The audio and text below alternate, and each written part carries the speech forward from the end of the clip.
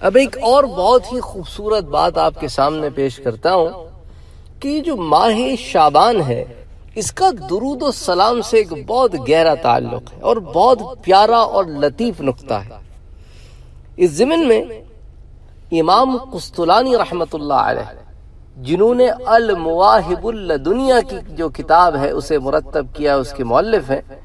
سیرت النبی کے دروس میں اور بہت سارے دروس میں ہم نے المواہب الدنیا سے بہت استفادہ حاصل کیا ہے۔ آخر امام قسطلانی امام ہے بہرحال وہ ایک بہت ہی لطیف نقطہ بیان فرماتے ہیں۔ وہ کہتے ہیں کہ ان شہر شعبان شہر الصلاة علی رسول اللہ صلی اللہ علیہ وسلم، کہ شہر شعبان جو ہے، شعبان شعبان کا جو مہینہ ہے، عربی زبان میں شہر کہتے ہیں مہینے کو۔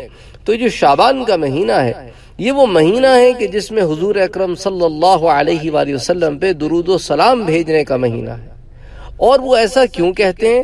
وہ کہتے ہیں یہ جو آیت ہے نا، الصلاة علی النبی والی آیت ہے لأن آیت الصلاة یعنی ان اللہ وملائکته يصلون علی النبی کہ اللہ اور اس کے ملائکہ حضور صلی اللہ علیہ وآلہ وسلم پہ صلاة بھیجتے ہیں، وہ کہتے ہیں، یہ جو آیت ہے سورہ احزاب کی، نزلت فیہی یہ اسی مہینے میں اللہ تعالیٰ نے اتاری۔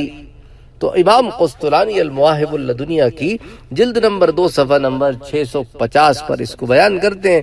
تو بہرحال وہ یہ آیت جو ہے، یہ ماہ شابان میں نازل ہوئی تو شابان کا تعلق حضور اکرم صلی اللہ علیہ وآلہ وسلم کے درود و سلام کے ساتھ بھی ہے اور اللہ تعالیٰ کی بخشش و مغفرت اور توبہ کے ساتھ بھی ہے۔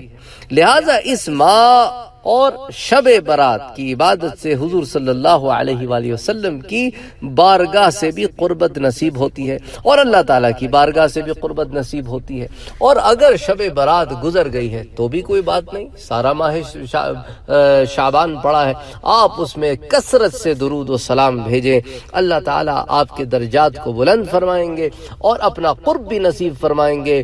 اور سرور کائنات محمد مصطفیٰ صلی اللہ علیہ وآلہ وسلم کا بھی قربن آپ کو نصیب فرمائیں گے اور درود و سلام کی برکتیں تو ہیں ہی۔ وما علینا الا البلاغ۔